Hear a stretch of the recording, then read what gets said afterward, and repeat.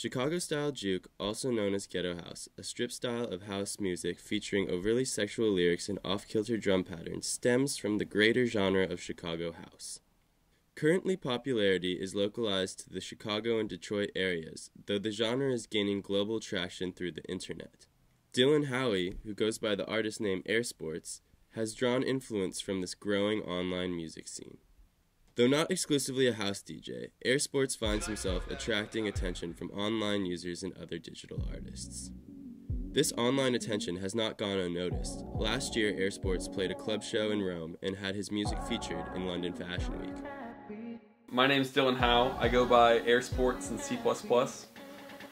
I mostly uh, take my influence from Ghetto House and uh, UK Grime, um, kind of just finding ways to um, incorporate the two. A lot of my music kind of steps outside of the, the range of genre, and with that, it kind of steps outside of like um, a lot of like constraints of fidelity.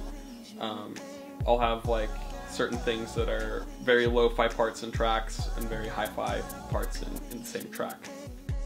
I like running a lot of my samples through tapes and uh, various off-board pieces of analog equipment because um, I think it adds a certain kind of finesse and character and like a little slight bit of tone compression to the sound that you just really can't emulate at all with uh, a computer. I sample a lot of stuff from vinyl. Uh, I sample stuff from cassettes.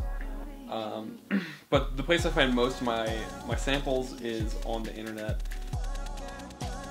It's pretty much an endless resource for samples um, for anyone interested in sample-based uh, art, and it's really, you know, probably one of the better. It's it's great for electronic music in that respect because it kind of allows you to uh, really make have just instant access to any kind of sound that you want.